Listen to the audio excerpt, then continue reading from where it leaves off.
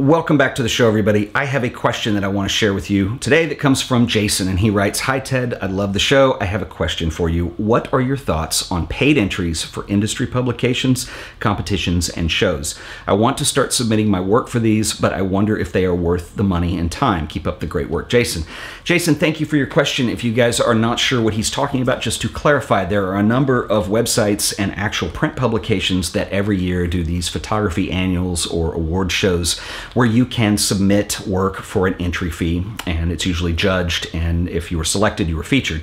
And just to share some of the better ones i think with you this is a magazine this is actually an old one but this is a magazine called black and white magazine and it is kind of more catered towards the fine art side of things obviously all black and white work and this is their annual portfolio contest awards issue. And they kind of open this up every year. Anybody can enter. You submit a portfolio of work give them your entry fee and they have it judged and they put it all together and if you were selected you were featured in this issue and it's really well done. On the commercial end of things uh, this is ca which stands for communication arts which is a very well known and very well respected publication. It is really nicely produced beautifully printed and they cater really to the entire advertising and creative world. So they do a number of these annuals in addition to the magazine every year and they open them up for submissions and they are kind of catered towards different media. So they have an illustration annual, they have a photography annual, which is this one, they have a graphic design annual, so on and so forth, advertising. And they kind of feature the best work that's been done in the industry. And this has gone on for a long time. Uh, they get really good judges who are very involved in the industry to come in and select the work that is chosen to be in the final magazine.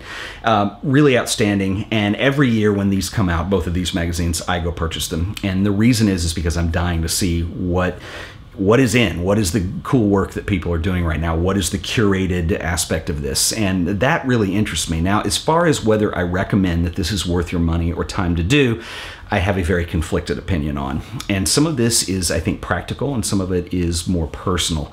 For me the whole idea of making a competition out of an art form is kind of difficult to get my head around. Now, as much as I enjoy looking at the work that's featured in these, the concept behind it is more hard for me to understand and to, to accept. Um, there is a practicality to this, and historically, uh, before social media and definitely before the internet, this is how you got your work in front of the right people to, if you wanted to get work. And for instance, my dad was an illustrator, still is. And before the internet, this is how, I mean, he had to get his work in these magazines to get the promotion out of it, to get the right art directors or the right corporations or the right ad agencies to see his illustration work so he would get hired to do jobs. I think a lot of this has really changed over the last 10 to 20 years, obviously. Uh, first of all, the internet comes along. You could have a website, and still getting people to see your website was a challenge, which still made industry publications relevant um, and that competitive aspect. But now this has all kind of been replaced with social media the value of the content that we create is changed completely. The, not only the value, but the context of content. Um, you know, we are in a different world right now, and there are opportunities from social media that open up that have much more significant value to them and what you're able to create as an artist or a photographer. And I think this is what's much different than what we had before. And the way you reach your audience is very different. Now, I'm not saying that social media is easy. It's not. It's just as hard as anything else. It's as hard as entering these back in the day or even today. But it is an opportunity that's there and it doesn't cost anything necessarily.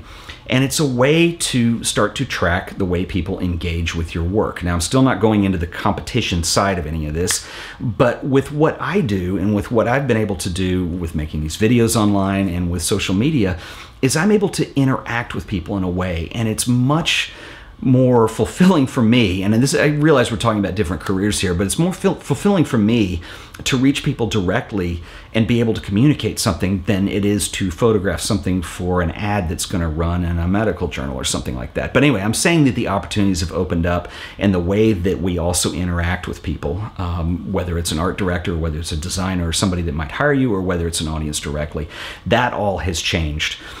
On a personal level the problem that I had with com the competitive nature of photography and turning photography into kind of a competitive sport per se, in a lot of this, I will say, just a full disclosure, I've been on both sides of this coin. I have uh, actually three sides to the coin. I have paid to enter my work and never gotten in. I used to enter CA every year, and this started in the late 90s when I was starting to work. And here, I'll put more pressure on this for you. This issue is from 2008, no, 2006, sorry. The illustration that's on the front of the illustration annual that year was my dad he did that. It was um, something he did at the Kentucky Derby. They chose it for the cover, and it did very well for him that year. Of course, that's even a little before social really started to take off too. But for me personally, and my dad never put any pressure on me. He was always great. But for me personally, I looked up to him and I wanted to get into this this magazine really bad, and I would enter it every year. And then later on, I never got featured in CA, but I got featured in some other things, and I even won some awards. And that was a very different experience. And I've also judged these competitions too. So I've seen it really from all sides.